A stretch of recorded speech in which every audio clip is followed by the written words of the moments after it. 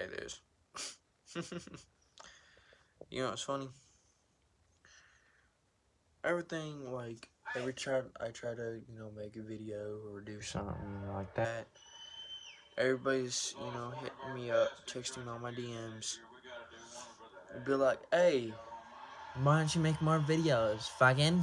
Well, I was like, well, you're, if you're not making YouTube videos, then then you're being a douchebag. And we want we want to talk to you. We want to hear your opinions on on how life is. Look, bruh, I have an important life. If you don't know me in person, then what the fuck? If you've seen me in person, you know my problems. You're like, I'm sorry. I'm not trying to be a douchebag or anything to be away from fucking YouTube fucking. No. Look. Because that's what you're going to get. Because if you're going to be away from YouTube or from fucking social media, you're going to get this shit. Like, I'm, I'm, like, I'm going to try to fucking stay off of Instagram and Facebook and fucking Snapchat and Hangouts for a while. Because I'm to see if I can try doing my own things by myself. From now on, if people want to, you know, ask me what's going on, text me. Fucking. Because now people are starting to fucking hate me. Because I hate you, Ryan. I hate.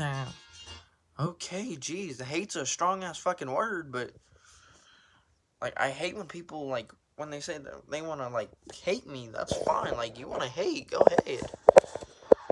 Like I'm sorry. Like you know, I don't know why you hate me, but okay. You know, like I respect. But if you hate somebody, gosh, like that's what I feel right now. That's what, that's what I feel is going on.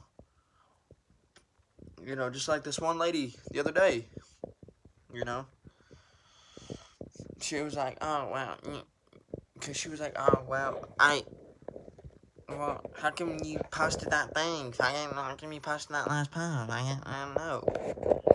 Now I feel like, I feel like everybody's gonna stop talking to me because the shit that I do. Like, I'm sorry. If you're just gonna hate, then what? Like, I'm like, I'm just gonna be brutal honest with you.